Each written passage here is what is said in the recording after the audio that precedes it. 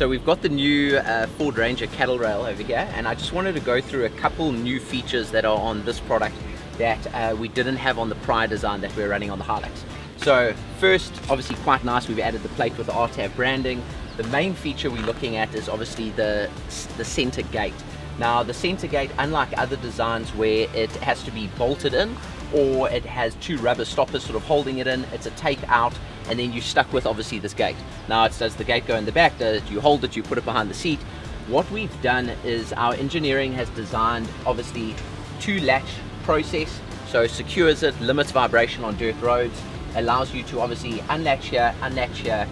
open your gate,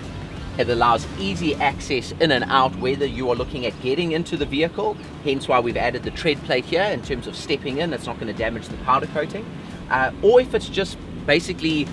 loading any sort of goods, uh, even if it be groceries. You know, at the end of the day, somebody did actually bring up, if you are in a parking lot and you have gone shopping, you don't necessarily want to have to open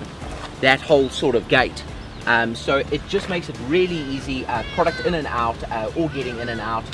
two latch process uh, and you still have obviously easy access over here to your main latch that opens your your main rear gate and obviously locks it on the side. So just something really nice on the the new cattle rail that's come out